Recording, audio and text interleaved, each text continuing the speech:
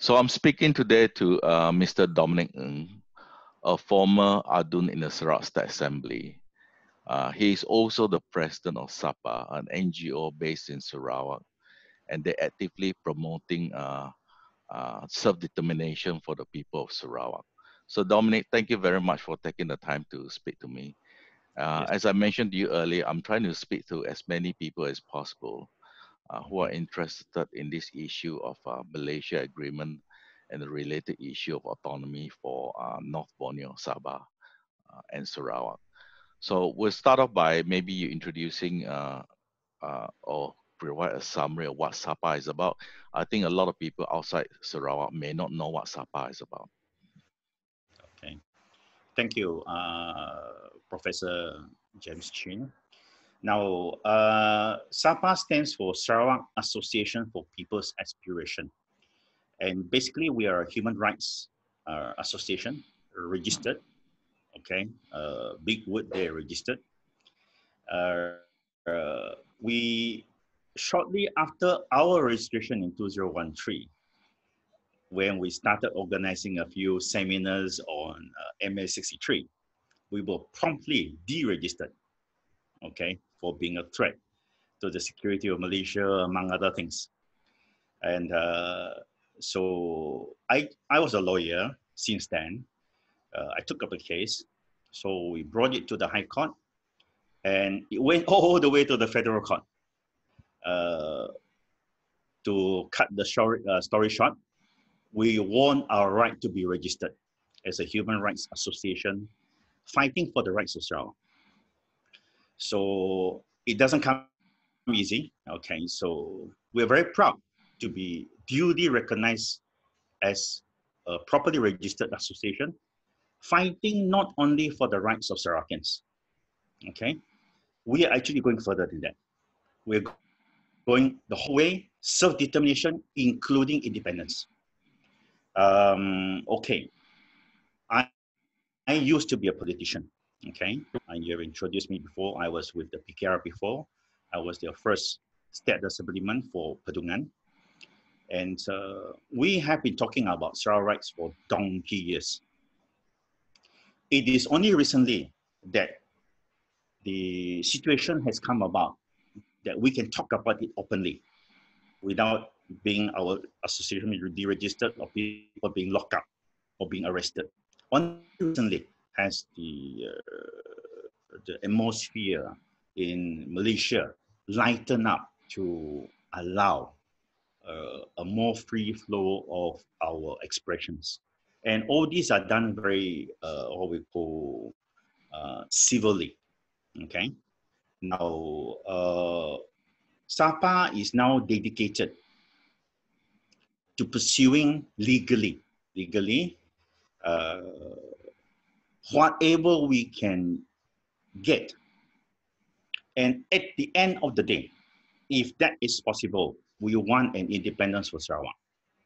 All right, can, can I just cut in quickly? And uh, you mentioned the, the, the keyword independence. I'm just wondering, legally speaking, what are the available routes, uh, given the fact that uh, many people uh, in the legal field have argued that succession from Malaysia is not possible? Okay. I have actually uh, acquired, accumulated a whole team of about 17 lawyers.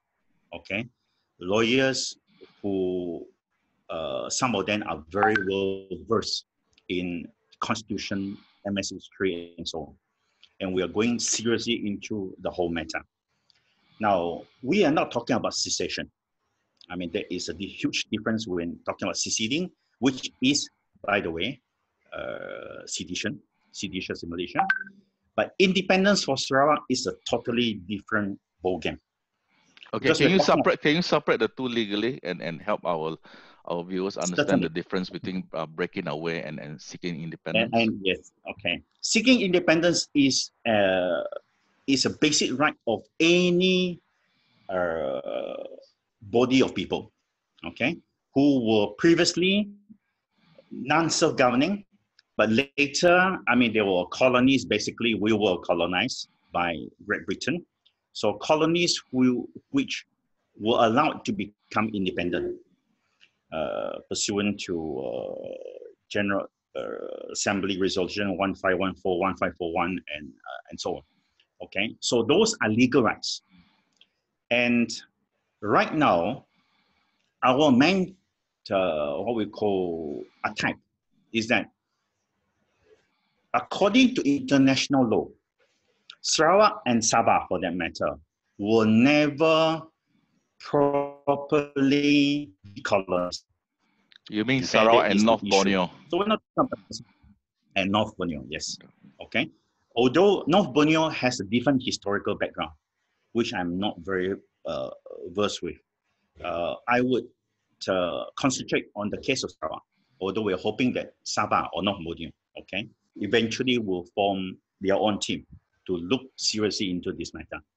We're still talking with all groups of people. Okay. Now, so we are telling everybody we're not talking about cessation. We are talking about seeking the independence of Sarawak. And I'd like to remind those who are not familiar with the history of Sarawak. Sarawak was an independent nation for 100 years under the Rajah Brookes from 1841. 41 to 1941. Thank you very much. Okay, we were an independent, recognized by the UK and recognized by the United States. Okay? All right, all right. So put, put, were, putting that I'm sorry, but I, I do not want to uh, go into all the detail. But uh, strictly speaking, just stick to the legal side first. If that is your argument, that your your your first argument is based on the uh, the the UN uh, Declaration on on the rights of people to self determination, if you're going to litigate based on international law, then what is the forum available to you? Okay, that is of course not an easy issue. Okay, the International Court of Justice is one. Although we have other people who thought that we should go back to the uh, to the United Kingdom. Okay, under uh, a so-called uh, arbitration. This is a line that is uh, promoted by people like uh, Zainnal Ajamain Okay, the International Court of Justice. Uh, there is of course a problem about, uh, to, in the sense that you can only access ICJ if the litigating parties agree to it. We are of course assuming that the Federation of Malaya, which was renamed the Federation of Malaysia, will never agree to it. Okay. Now, that was difficult in the years gone by. But since then, since 2019, as a result of the Chagos case, okay, the whole scenario has changed. So we're talking about recent international law as a result of the Chagos case have changed. All right, so just, just words, give our listeners a summary of why the Chagos case is related to the Sarawak case. Okay. Now, in the case of Chagos, the island of Chagos, uh, when Mauritius uh, was gaining its independence at that time, Mauritius was a colony like Sarawak and Sabah of Great Britain. And when they were about to be given its independence, Great Britain decided to take away the island of Chagos away from the uh, territory of uh, Mauritius and chase away all the thousands of Chagosians who were uh, on that island. Okay, and they decided to go into an agreement with Mauritius. At that time, Mauritius was still not an independent nation; it was still a colony. The case of the Chagos in the in, in uh, international courts was that a colony do not have the capacity to go into a international agreement with another sovereign state because at that time it doesn't have its own sovereignty. So to make it short, at that time when uh, uh, Mauritius agreed with United Kingdom to take away the Chagos Islands, it was as a result of uh, uh, agreement that was not validly entered into. Because so the people of Chagos do not have mm. the sovereignty to negotiate on behalf of themselves because they were still colonial people. Still now, now I, I understand that. So basically, the legal argument, taking from what you you understand by the Chagos case, uh, I need to remind uh, viewers that the Chagos case uh, is actually not court rulings, advisory opinion. That's first thing. That's true. Okay, so so basically the argument is that uh, Sabah and Sarawak, the process of bringing up the federation is flawed because the people of Sabah and North, uh, sorry, the people of Sarawak and North Borneo at that time were in no position to talk about either entering or creating a new federation because they were still under the rule of the British. And There were therefore, still the, colonial powers. I mean, there were two colonies. Yes, that's Sure. correct. so there were, so in other words, the whole process put forward by the Malayan and the British government, uh, here I'm Mhm. talking basically about the Cobbold process, was essentially a manipulated process by Yes. the colonial authorities. And secondly, that the people, even if they were consulted, they did not have the, the what do you call it, the authority to negotiate because they were under the, the colonial rule. Uh, more than that, you see, uh, when we were in the process, supposedly in the process of decolonization, there must be free and informed will. Okay, the Cobbold Commission was just a charade. Mm, It was only meant to whitewash what was an uh, already a foregone conclusion. What they did was they go throughout Sarawak and Sabah and talk to about 6,000 people at most, uh, about 3,000 in Sarawak and 3,000 in Sabah. And they say, and they came to the conclusion that the people of Sarawak and Sabah agreed by a two to uh, two-thirds majority to uh, join Malaysia. That was not correct. Actually, it's not talking about joining Malaysia, but forming Malaysia at that time. In the process, what actually happened was that we did not really form Malaysia per se. There was an agreement, but that agreement is not valid. It was now and void from the beginning. We were actually taken into an existing federation of Malaysia, which was renamed the Federation of Malaysia.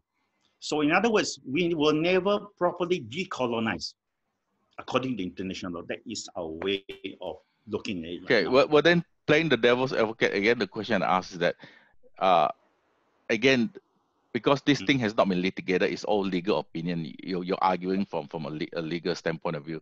The question comes back to where is the forum that this can be litigated upon?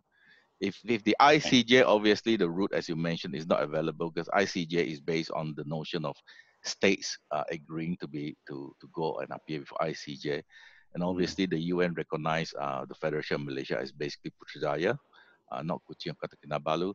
So if the ICJ route is not available, then then where is the forum? Where is the legal forum that you can bring this argument to? Before we go to that, actually, we have not totally dismissed the route of the ICJ.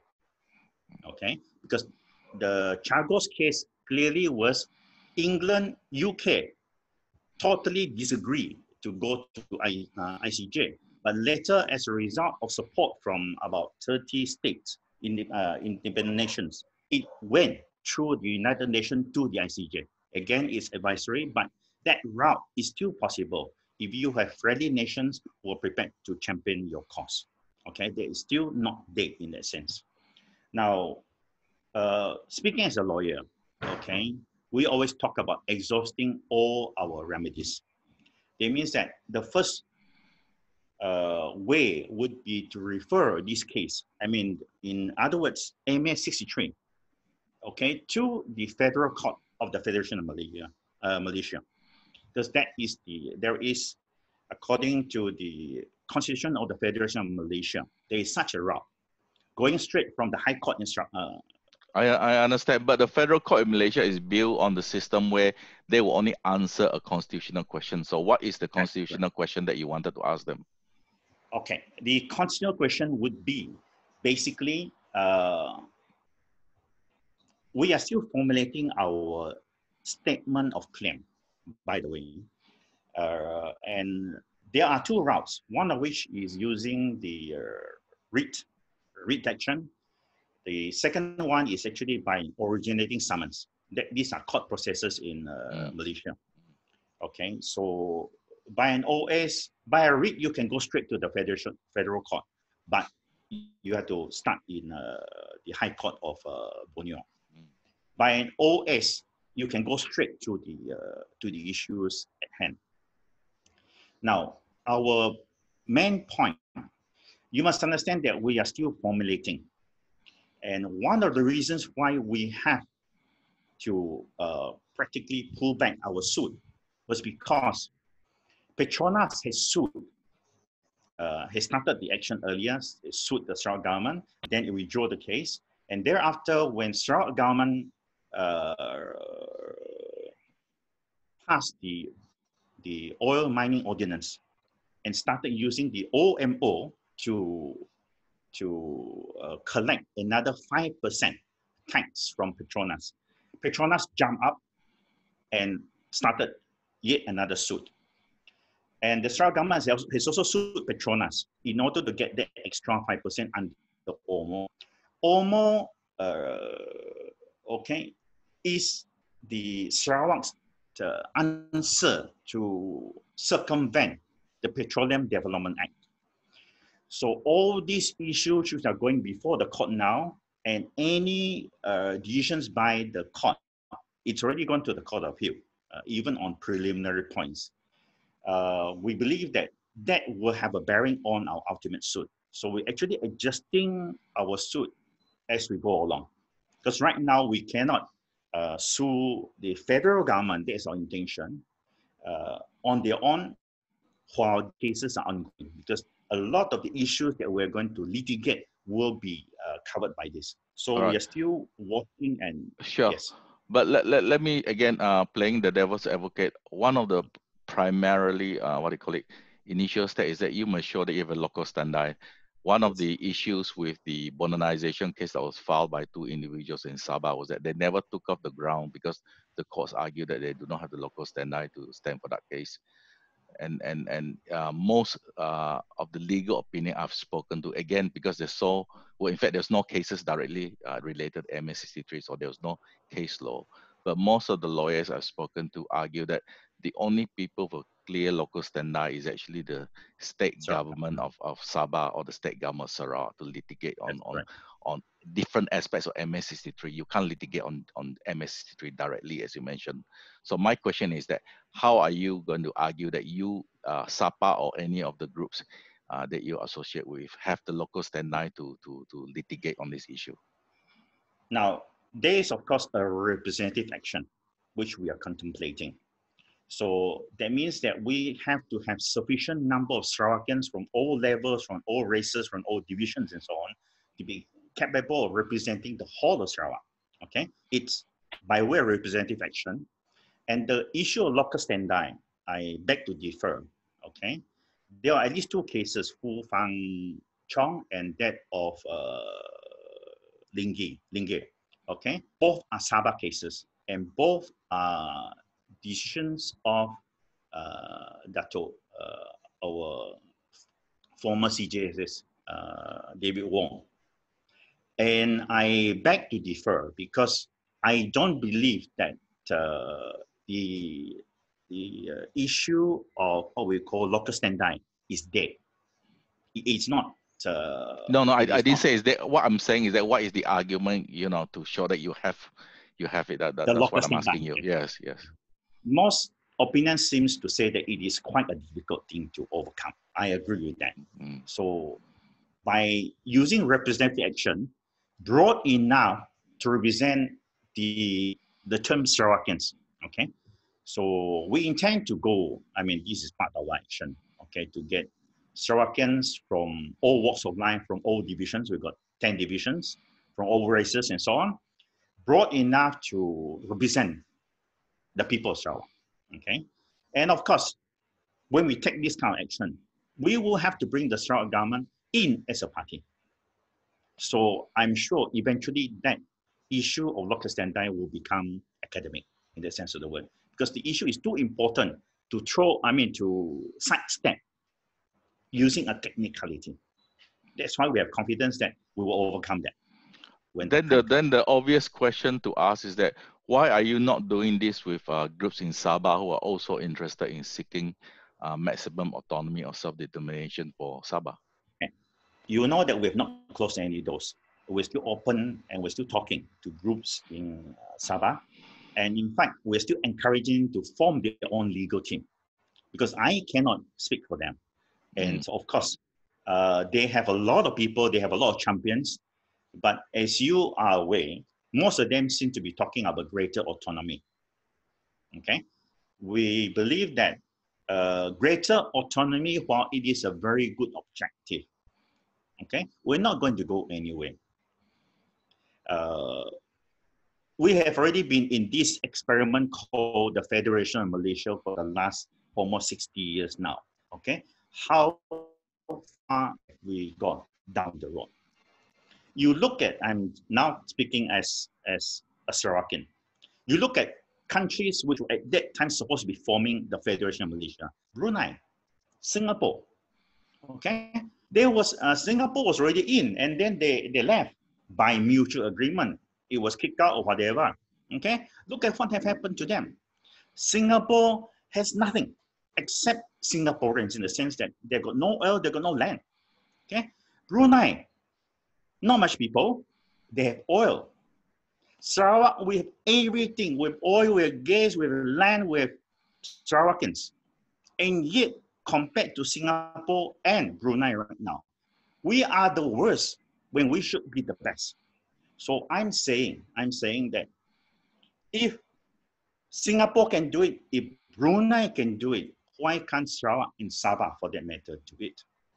Now, you must understand, there are many Sarawakians who find that they cannot find a living in Sarawak and they have to leave for overseas.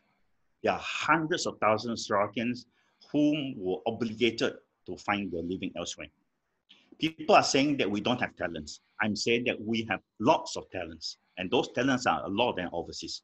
I don't think there's any problems about getting you for one. Okay, if Sarawak can be independent, well, well, well, right. Okay, uh, uh, so many of us. Okay, we're talking about professionals. We're not talking about. Uh, no, no, that, that, that, that, that is fine, Dominique. I understand where, where the, all these things coming from. What I'm interested in is, is, is, you know, what is right in front of us. In other words, you know, what is available legally, and if the international law is a difficult uh, thing to start, I'm working on the assumption that you're still willing to, to litigate under domestic law as well.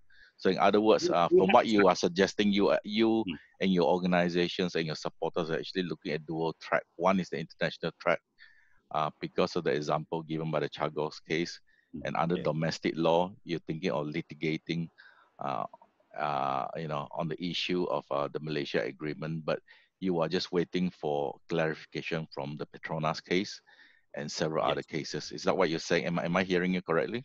That's correct. We are not, you see, the, the issue is not a, a simple open and shut case. While we are talking about the Malaysian agreement per se, MA63 in short, okay, actually there's a lot of other laws, a lot of other issues that are that go hand in hand. So it's a rather, in fact, the Chagos case, okay, which took, uh, by the way, over 50 years to get to where they are right now. Okay, it's still, still not, not ending was a comparatively simpler case to that of ours. Sure, sure. Okay?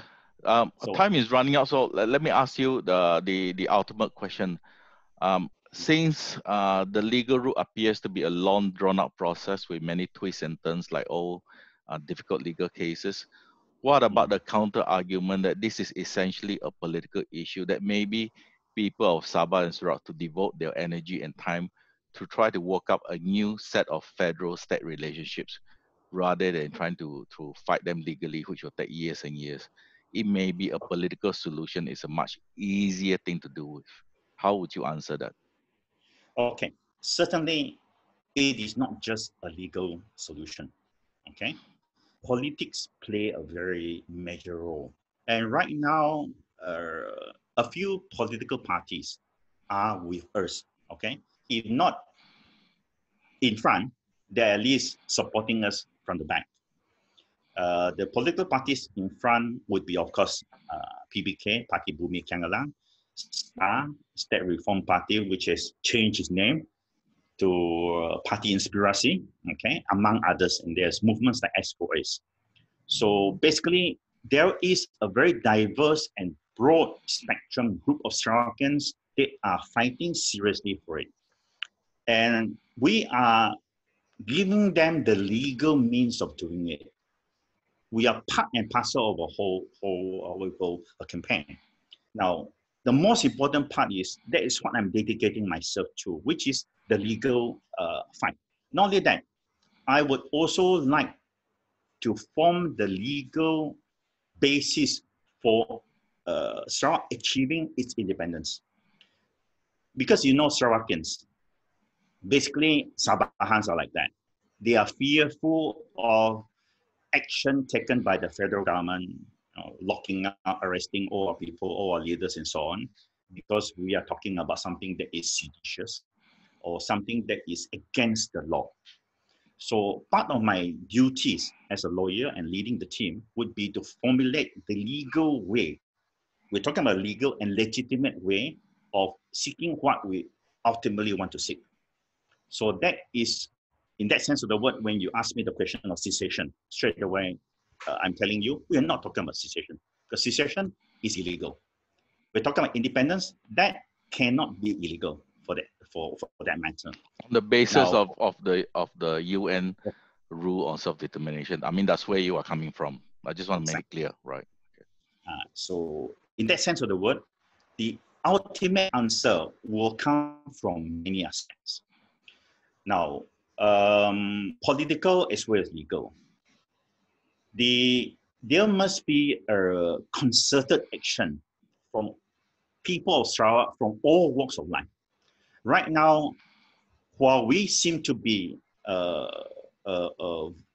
vocal, uh, perhaps uh, a very vocal minority in the sense that advocating for independence, there is, I think you understand, a very subtle undercurrent of people, of Sarawakians across the board, across the racial background, across the Sarawak, who are quite sick and tired of being taken for a ride by the federal government.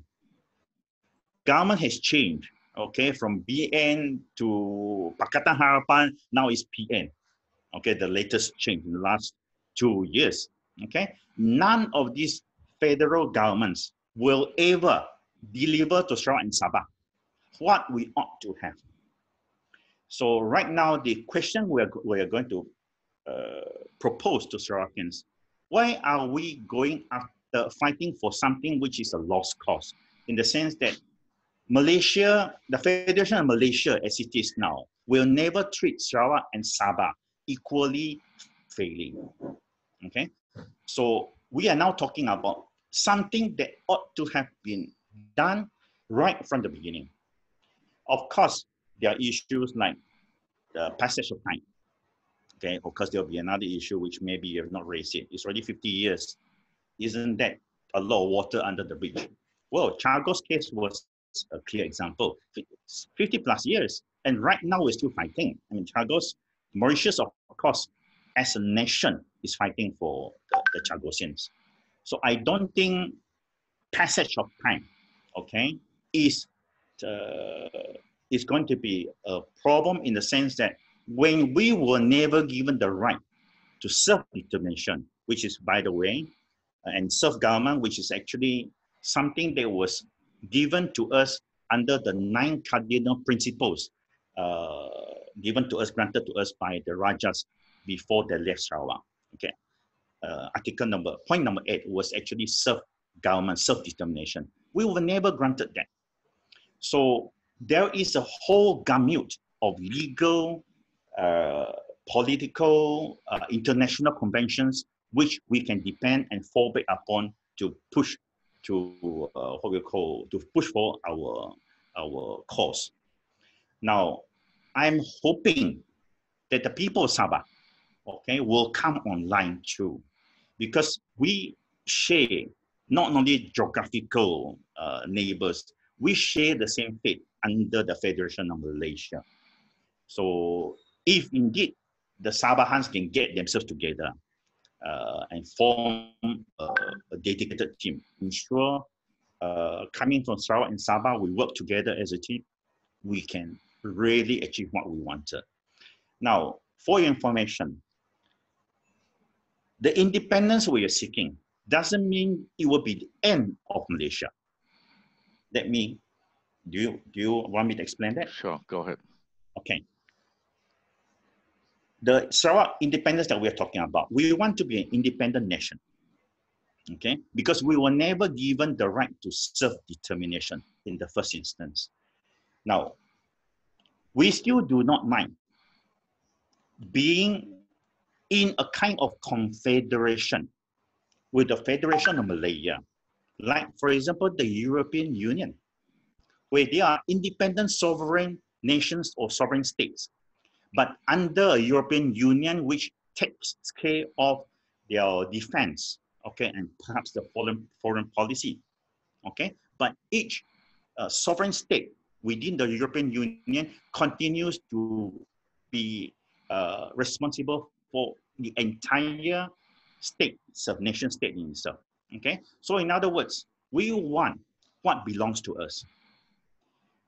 Independence actually uh, actually guaranteed to us, but what we achieved was so-called independence within the Federation of Malaysia, which was not an independence.